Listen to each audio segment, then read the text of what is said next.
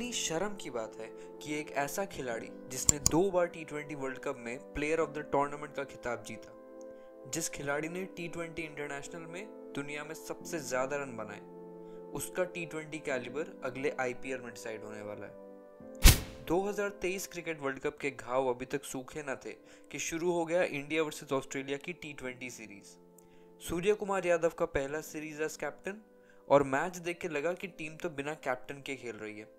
ना कोई bowling strategy दिखाई दी और ना कोई फील्डिंग में दम। मैच देखकर ऐसा लगा कि सारे बॉलर्स अपने अपने सिलेक्शन के लिए खेल रहे हैं। लेकिन ऐसी परफॉर्मेंस रहेगी तो ना इनका सिलेक्शन होगा और ना हमारे पास रहेगा कोई होप वीडियो शुरू होने से पहले पिछले दो वीडियोस को इतना प्यार देने के लिए थैंक यू अगर आपने अभी तक इस चैनल को सब्सक्राइब नहीं किया तब प्लीज़ कर दीजिए। टारगेट है 200 subs by the end of December now back to the video 2022 के टी ट्वेंटी वर्ल्ड कप में इंग्लैंड से सेमीफाइनल हारने के बाद इंडियन टी ट्वेंटी टीम में रोहित शर्मा, विराट कोहली, के राहुल जैसे प्लेयर्स गायब हो गए और कप्तान बना दिया गया बारबेडॉस के हार्दिक पांड्या को।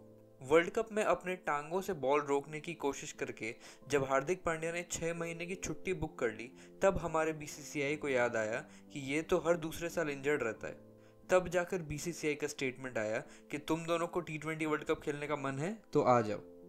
लेकिन as per sources Virat South Africa tour में वाइट बॉल के सारे मैचेस छोड़ने वाले हैं और सीधा टेस्ट सीरीज़ में खेलने वाले हैं। वैसे टू बी ऑनेस्ट मुझे तो समझ आया नहीं था कि एक साल विराट कोहली को टी ट्वेंटी फॉर्मेट से दूर रखने का पॉइंट क्या था। चलो, रोहित शर्मा तो पिछले दो वर्ल्ड कप से फॉर्म से जूझते नज़र आए थे, मगर विराट कोहली ने तो 2022 टी ट्वेंटी वर्ल्ड कप में अपना 2.0 वर्जन दिखाया था। और वही वर्जन फिर 2023 के आईपीएल में बैक टू बैक सेंचुरीज मारकर भी दिखाया।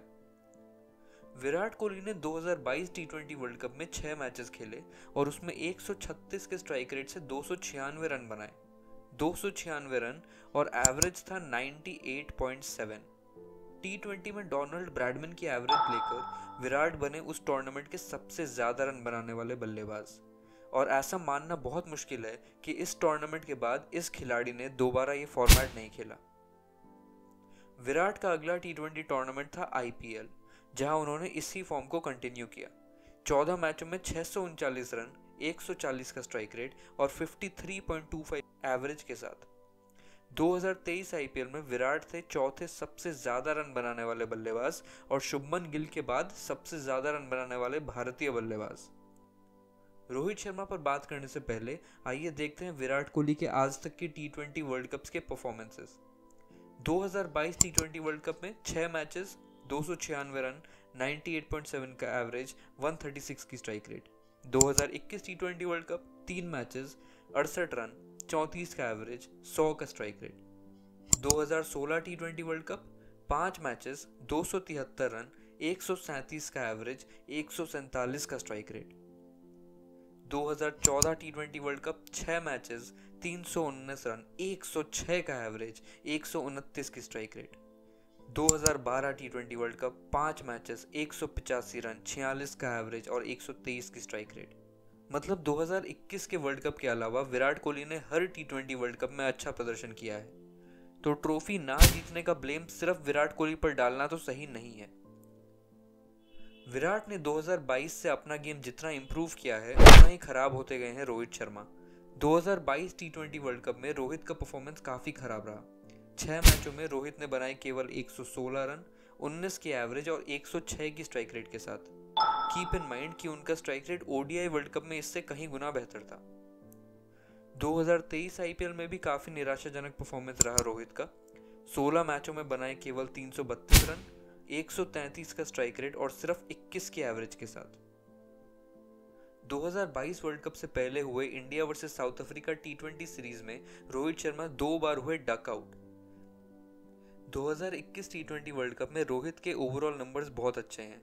35 की एवरेज और 151 के स्ट्राइक रेट के साथ पाँच मैचों में एक सौ चौहत्तर रन। मगर मैच बाय मैच देखें तो कहानी कुछ और ही है। अफ़गानिस्तान के अगेंस्ट सैंतालीस बॉल्स में चौहत्तर रन। स्कॉटलैंड के अगेंस्ट 16 बॉल्स में 30 रन।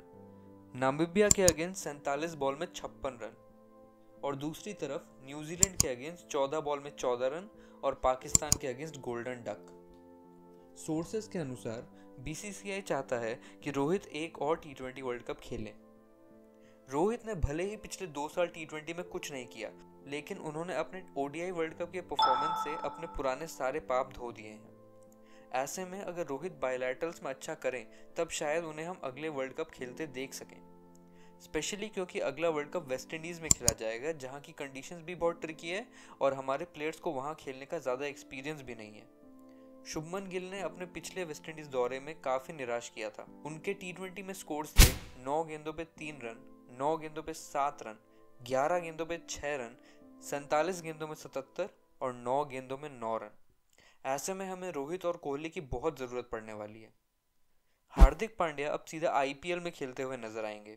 तो क्या ऐसे में हम हार्दिक पांड्या से कैप्टनसी एक्सपेक्ट कर सकते हैं? वो भी अगर वो इस साल मुंबई इंडियंस तक की कैप्टनसी ना करें, कहीं बीच वर्ल्ड कप में वो इंजर्ड हो गए तो हमारा पूरा कैंपेन खत्म हो सकता है। तो ऐसे में रोहित और कोहली में से एक एक्सपीरियंस प्लेयर का टीम में होना बहुत ज़रूरी है। इस वीडियो के लिए इतना ही। अगर आपको अपने आईपीएल टीम पर रिटेंशन और ऑप्शन स्ट्रैटेजी वीडियो चाहिए तब कॉमेंट में अपनी फेवरेट टीम का नाम लिखें। वीडियो पसंद आया तो इस वीडियो को करें लाइक और चैनल को करें subscribe let's meet in the next video